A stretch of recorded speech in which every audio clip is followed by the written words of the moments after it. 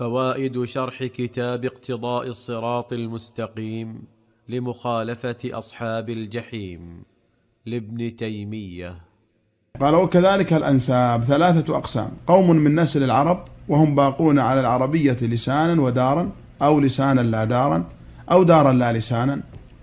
وقوم من نسل العرب بل من نسل بني هاشم صارت العجمية لسانهم ودارهم أو أحدهما. وقوم مجهول الأصل. لا يدرى من نسل العرب هم أم من نسل العجم وهم أكثر الناس اليوم سواء كانوا عرب الدار واللسان أو عجما في أحدهما. نعم انقسموا إلى ثلاثة أقسام منهم ما هو عربي باللسان وبالدار عربي باللسان وبالدار. وبالدار ومنهم ما هو عجمي باللسان وبالدار. وبالدار أو عجمي بالدار دون اللسان أو أو عجمي بالدار دون اللسان.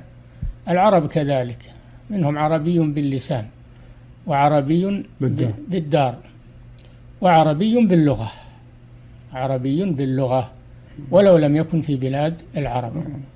ومن العرب من صار عجميا بل قد يكون من بني هاشم لكن أخذ اللغة الأعجمية وترك العربية وصار أعجميا.